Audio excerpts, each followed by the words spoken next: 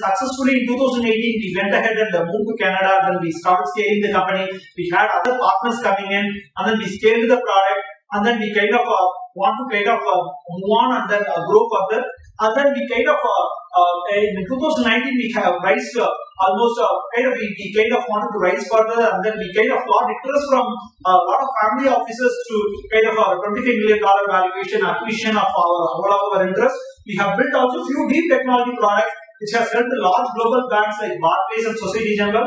So that's why we, we figured out okay this is going to certainly kind of a journey which we want to pursue further, not to sell immediately. We said we are not going to sell. And then uh, there were uh, close to 20 acquisition offers we would have got in this so far. Um, um, the past two years, there's a lot of consolidation effort happening. So, in fact, recently uh, I used to read up uh, Gartner uh, reports uh, when I started the company out. So, uh, Gartner used to be my Bible. Gartner used to do a rating called uh, Governance and Compliance. And uh, eventually they started doing a rating called Integrated Risk Management. That used to be my Bible. What happened is recently Gartner recognized us as a top 15 companies in the world as part of the one of the 2019 COVID-19 regulatory technology service providers.